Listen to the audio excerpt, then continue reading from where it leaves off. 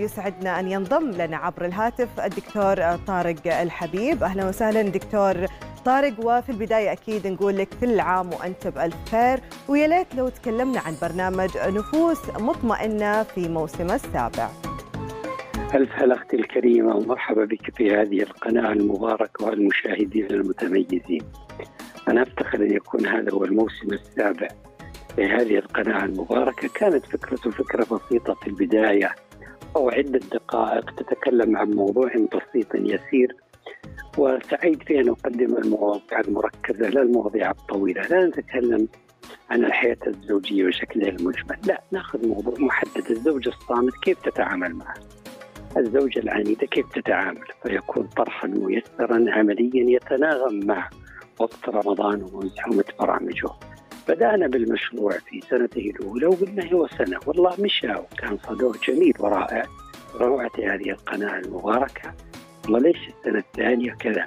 صار روتين يعني. كأنه أحد ال... يعني كانوا جدول حياتي وجدولي السنوي كانوا جزء من المؤتمرات أو العيادات اللي أقيمها أني أقيم هذا البرنامج. وهذا شرف كبير لي في الحقيقة. جميل أنا قضيت عدة سنوات في عدة قنوات مختلفة لكن أطول فترة قضيتها هي في روتانا خليجية وهذا شرف كبير لي. الشرف لنا دكتور طارق طب لو تكلمنا أكثر عن أبرز المواضيع اللي راح تطرحها وتتكلم عنها من خلال هذا البرنامج في موسم السابع. كما ذكرت بعض العناوين تكلمت عن الزوجة الصامت كيف تتعامل معه. الزوجة العنيدة كيف تتعامل معها. نتكلم عن الطفل مثلا الذي يبكي بكثرة وناخذ المواضيع الشبيهة مثل هذا وخصوصا المواضيع التي لم تطرق سابقا بقدر الإمكان. لأن تعرفين على مدار سنوات 30 حلقة تكلمنا عن قريب من 200 حلقة والآن تجاوزنا 200 حلقة. فهناك المواضيع المعتادة بدأت تنتهي. فنبحث عن الجديد الأمر الآخر ندخل بالأمور المطروحة واللي عليها كلام كثير. مثلا التقنية وتعامل الطفل معها، هل مشاهده الطفل للايباد هذه مضرة زي ما هو منتشر أو ربما أنها مفيدة. هذه التقنية والتي ممكن أن الإنسان يستفيد منها لتوظيفها من أجل صالح ذلك الطفل. هناك المعلومات النفسية المغلوطة المنتشرة. التعامل مع الوالدين التعامل مع الأمراض، أيضا نعطي ثقافة صحية للأمراض النفسية، ما هو الاضطراب الوجداني؟ خصوصا من النوع الخفيف هذا مرض منتشر لكن نجهله في بعض الأحيان فرط الحركة المرضي لتبرير طفل قليل حياه وهو لا مرض يجب أن يعالج تماما. استخدام بعض المواد المنشطة أو المخدره بشكل خاطئ وأسباب ذلك الاستخدام. لا نستخدم الأسبوع الأسلوب الوعظي أو التوجيهي أو النقدي أو لا لا لا لا. ما عندي تفكير سلبي إنما الإيجابي.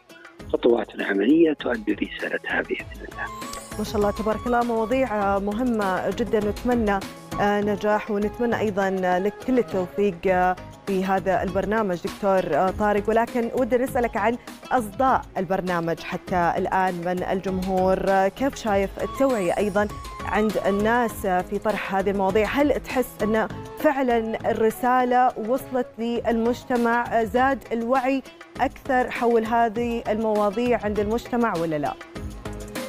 والله أصداء كبيرة جدا وروتانا حقيقة أنا رأيي بيغير اسمه روتانا خليجية وليس إلى روتانا عربية خلي روتانا عالمية. أوقات أكون أمشي في الدنمارك هناك فلما أمر من جوار بعض المقاهي وكذا وإذا بالعرب المهاجرين يقومون يسلمون. والله برنامج نفوس مطمئنة برنامج كذا برنامج كذا. يتكلمون كلام مبارك فالناس تتابعنا في قنواتنا. فيجب علينا إحنا كمختصين كمقدمين لمثل هذه البرامج كرموز إعلامية كبار مثل شخصك الكريم وزملائك الكرام.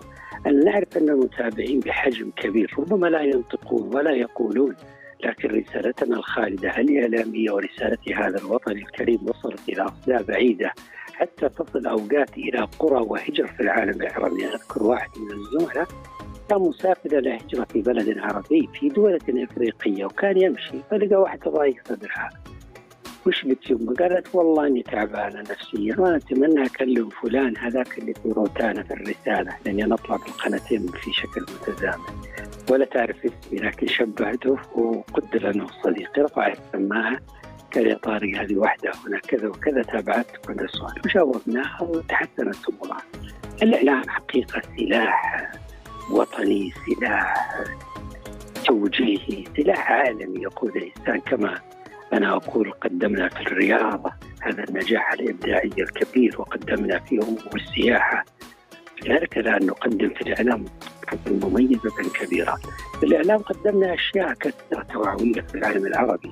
ربما يقدمها غيرنا بطريقة التهريج لكن قدمت روتانا خليجية ورفيقاتها من القنوات بلغة مهنية احترافية تدرك معنى الإعلام بشكله الحقيقي وتعطي مجال للفكاهة والراحة دون الإسفاف والابتذال. وهذه الروعة وهذا اللي مسكنا إحنا بروتانا تميزا فيها من هذه الناحية. الناحية الثانية متميزة فيها روتانا حقيقة يعني تقلب أسرة تقلب يعني يعني أوقات ما أجمل بعض المشاعر حينما تعجز عن وصفها.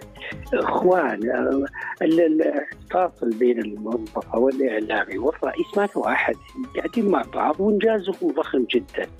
هذه الروعة الجميلة بإذن الله تستمر وتزداد وهو في نمو من كل سنة. فعلا الحمد لله. والله يديمها علينا جميعا دكتور طارق ونورتنا وشرفتنا. يعطيك ألف عافية. شكرا لك.